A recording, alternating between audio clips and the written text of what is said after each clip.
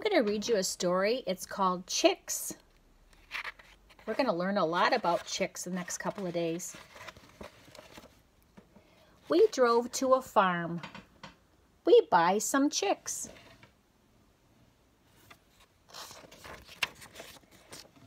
The chicks go for a car ride. Soon we are home. You see the chicks are in the box?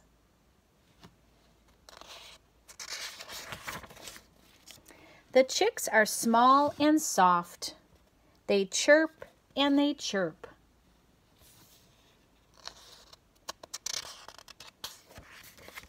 We put the chicks in a brooder.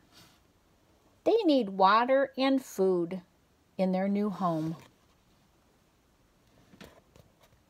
See the water trough and the food, the water and the food. The brooder has a light the light keeps the chicks warm. That's what we have on our chicks. We have a heat lamp on them to keep them warm. The chicks grow and they grow. They grow fast. They grow a little bit every day. They grow new feathers. The chicks can fly out of the brooder. Takes them a few days to get to that point, but it doesn't take long. We build a coop outside. The chicks move in.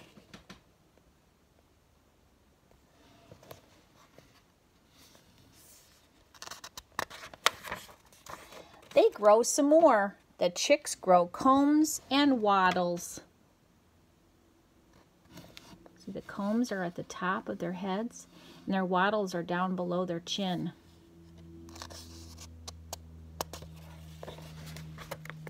Their beaks grow bigger. Their feathers grow fuller. Hmm, what do you think is going to happen now that they're almost fully grown? Now they are chickens. They are hens and roosters. We build nest boxes. At my house, we call them coops, chicken coops. And inside the coop is um, a box on the wall that has little tiny nesting areas. What do you think is going to happen in there? The chickens cluck and they cluck. You see the chickens? They're clucking and they clucking. Some of the chickens lay eggs. Who do you think lays the eggs, the hen or the rooster? Now we have chickens and eggs. How cool is that? Can you see her collecting the eggs out of the nesting boxes at the top? I wonder how many eggs she collected.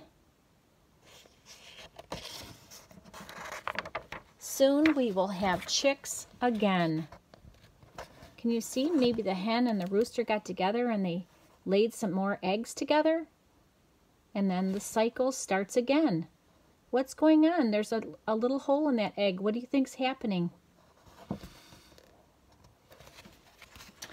The end. I hope you enjoy the video of the real chicks today.